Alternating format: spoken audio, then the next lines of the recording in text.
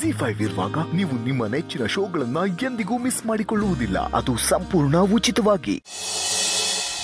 ಏನ್ ಮಾಡಿದ್ರಿ? ಏನು ಮಾಡಿಲ್ಲಪ್ಪ. ಅಮ್ಮ ನೀವು ಭಾವನಾ ಅವ್ರ ಮನೆಗೆ ಏನಕ್ಕೆ ಹೋಗಿದ್ರಿ? ಸುಮ್ಮನೆ ಭಾವನೆ ಮಾತಾಡ್ಸ್ಕೊಂಡ್ ಬರೋಣ ಅಂತ ಹೋಗಿದ್ದೆ. ಭಾವನಾನ? ನಿಮಗ್ ಗೊತ್ತಿತ್ತು ತಾನೇ ಅವ್ರು ನಮ್ ಜೊತೆ ಬಂದಿದ್ದಾರೆ ಅಂತ? ಹಾ ಗೊತ್ತಿತ್ತು. ವೇಟ್ ಅಲ್ಲಿ ಹೋಗಿ ಏನು ಅಡ್ವರ್ಟ್ ಮಾಡಿಲ್ಲ ತಾನೆ? ಏನ್ ಮಾತಾಡ್ತಿದ್ಯಾ ನೀನು? ನಾನೇನ್ ಎಡ್ವರ್ಟ್ ಮಾಡ್ತೀನಿ? ಅಮ್ಮ. ಏನ್ ಮಾಡ್ಬೇಕು ಅದನ್ನೇ ಮಾಡಿದೆ. ಹಾಗಂದ್ರೆ? ಮನೆಗೆ ಹೋಗಿ ಮಾತಾಡೋಣ.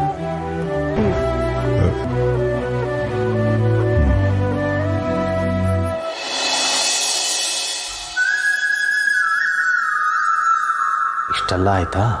ಶ್ರೀಕಾಂತ್ ತುಂಬಾ ಒಳ್ಳೆಯವರು ಅಂತ ಗೊತ್ತು ರೀ. ಅವ್ರ ಮಗಳು ಭಾವನನ್ ತುಂಬಾ ಹಚ್ಕೊಂಡಿದ್ದಾಳೆ.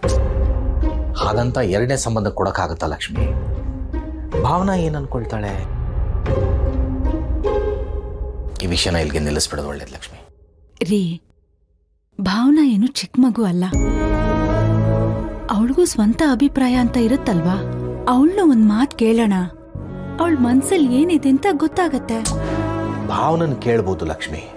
ಆದ್ರೆ ನಾವು ನೋಡ್ತಾ ಇರೋದು ಎರಡನೇ ಮದುವೆ ಸಂಬಂಧ ಅಂತ ಗೊತ್ತಾದ್ರೆ ಮಕ್ಕಳು ಸೊಸೆದರು ಏನ್ ಅನ್ಕೋತಾರೆ? ಅದನ್ ನಾವ್ಯಾಕೆ ಯೋಚನೆ ಮಾಡೋಣ? ಎಲ್ರಿಗೂ ಈ ವಿಷಯ ಹೇಳೋಣ. ಅವ್ರ ಅಭಿಪ್ರಾಯ ಅವ್ರು ತಿಳಿಸ್ಲಿ.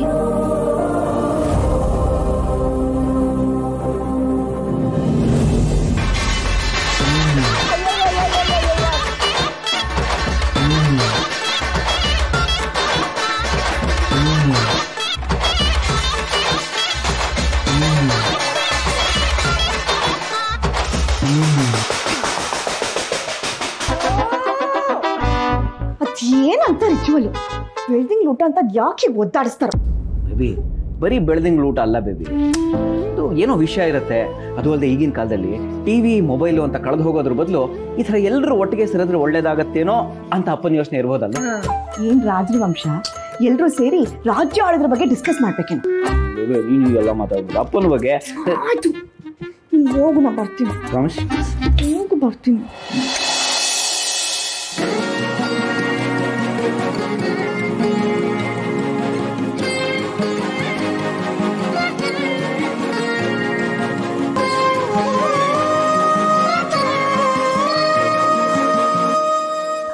ಬೇಬಿ ಅಲ್ಲಿ ಕ್ಲೀನ್ ಮಾಡಿದ್ದೆ.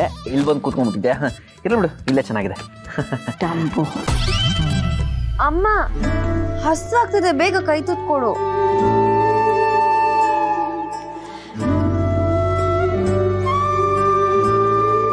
ಅಮ್ಮ ನೀನು ದೊಡ್ಡವ್ರಿಗೆಲ್ಲ ಕೊಟ್ಟು ಚಿಕ್ಕೋಳ್ ತನಕ ಬರೋಷ್ಟೊತ್ತಿಗೆ ನನ್ನ ಹೊಟ್ಟೆ ಎಲ್ಲ ಸೀದೋಗಿರುತ್ತೆ ಅಷ್ಟೇ. ಅಮ್ಮ ನನ್ನ ಬದಲು ಫಸ್ಟ್ ಅವಳಿಗೆ ಕೊಟ್ಬಿಡು. ತಂಗಿ ಆಗಿದ್ರು ಅಕ್ಕ ಅಂತ ಅನ್ಕೊಂಡು ಸುಮ್ಮನೆ ಆಗ್ಬಿಡ್ತೀನಿ. ಓ ಬೇಡಪ್ಪ. ಆಮೇಲೆ ನೀನ್ ಇಷ್ಟೆಲ್ಲ ತ್ಯಾಗ ಮಾಡಿ ಅದಕ್ಕೂ ಬಿಲ್ಡಪ್ ಬೇರೆ ತಗೋತೀಯ. ಚೆನ್ನಾಗಿದೆ ಜೋಕು ಏ ಜಾನು ನಿನ್ನ ಸುಮಧುರ ಕಂಠ ಕೇಳಿ ಎಷ್ಟು ದಿನಗಳಾಗೋಯ್ತೆ ಒಂದು ಹಾಡು ಹಾಗೆ ಬಿಡು.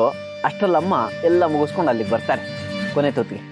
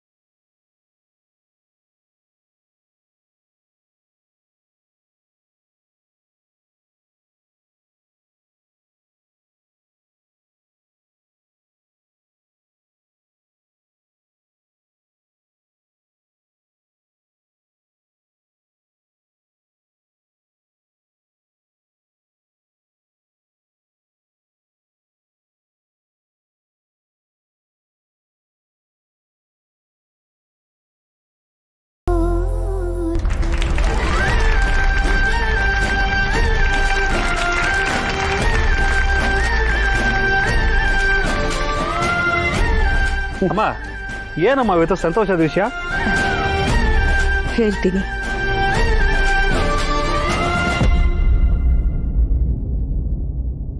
ಮದ್ವೆ ಅನ್ನೋದು ಎಲ್ಲರ ಜೀವನದಲ್ಲಿ ಎಷ್ಟು ಮುಖ್ಯ ಅಲ್ವಾ?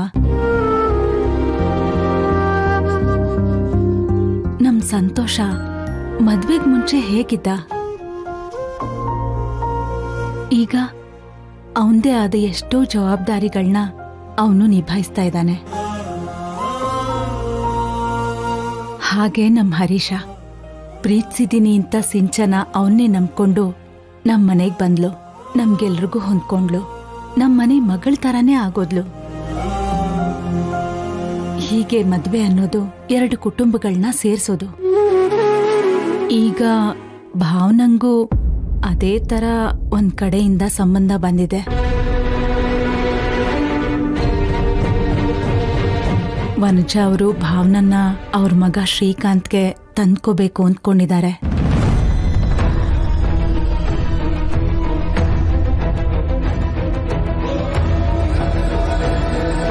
ಆ ವಿಷಯ ಮಾತಾಡೋಕೆ ಅಂತಾನೆ ಮಧ್ಯಾಹ್ನ ಅವರು ಮನೆಗೆ ಬಂದಿದ್ರು.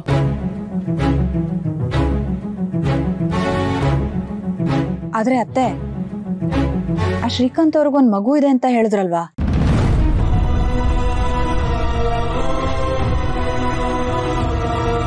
ಏನ?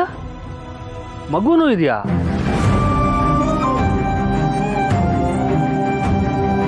ಹಾಗಾದ್ರೆ buy one get one free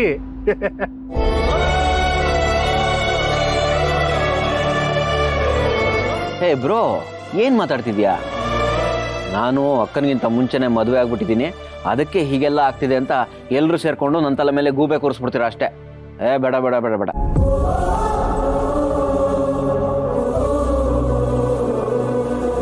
ಅವ್ರಿಗಿಂತ ಒಳ್ಳೆ ಹುಡುಗನ ಹುಡ್ಕೋಣ. ಅಷ್ಟೇ.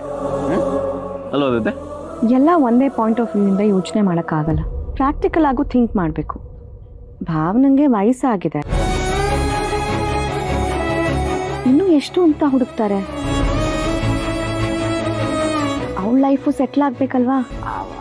ಅದೇ ಅದೇ ಕರೆಕ್ಟು ಅದನ್ನೇ ನಾನು ಹೇಳಿದ್ದು. ಹಾ.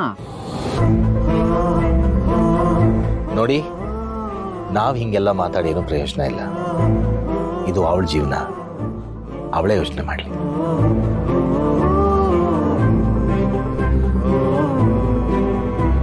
ನೋಡಮ್ಮ ಭಾನ ಅವರು ನಿನಗೆ ಗೊತ್ತಿರೋರು, ನೀನು ಅವ್ರಿಗೆ ಇಷ್ಟ ಆಗಿದೆಯಾ? ಅದಕ್ಕೆ ಬಂದು ಕೇಳಿದ್ದಾರೆ. ಇದರಲ್ಲಿ ಅವ್ರದ್ದು ಏನೂ ತಪ್ಪಿಲ್ಲ. ಸಂಬಂಧ ಬೇಕೋ ಬೇಡ ಅನ್ನೋದನ್ನ ನೀನು ನಿರ್ಧಾರ ಮಾಡಬೇಕು.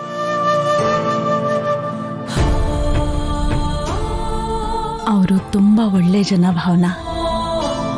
ಅದಕ್ಕೋಸ್ಕರನೇ ನಾವು ನಿನಗೆ ಹೇಳ್ತಾ ಇರೋದು. ಈ ಮದುವೆ ಆಗೋದ್ರಿಂದ ಇಬ್ಬರ ಜೀವನನೂ ಚೆನ್ನಾಗಿರುತ್ತೆ ಅಂತ ಅನ್ನಿಸ್ತು.